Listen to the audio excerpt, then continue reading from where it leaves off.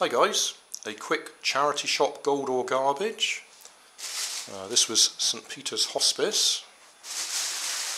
One of the items I keep my eye out for every time I go into a charity shop on my list of things. A nice tripod, camera tripod.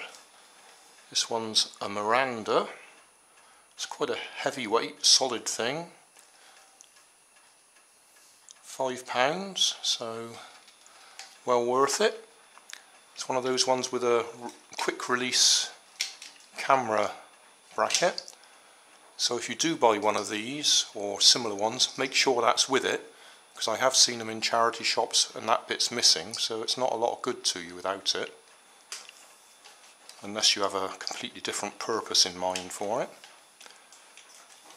But other than that it looks okay that rubber ring there is a bit perished, but that's minor. I could replace that quite easily.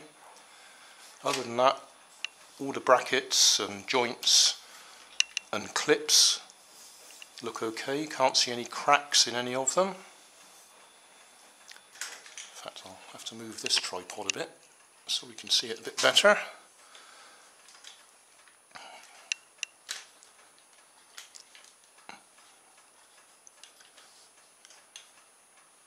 All the important bits seem to work.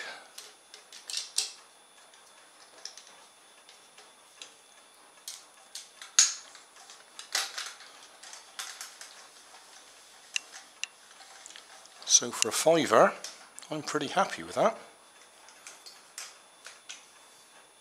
A Miranda TP35. Carrying handle, clamp there.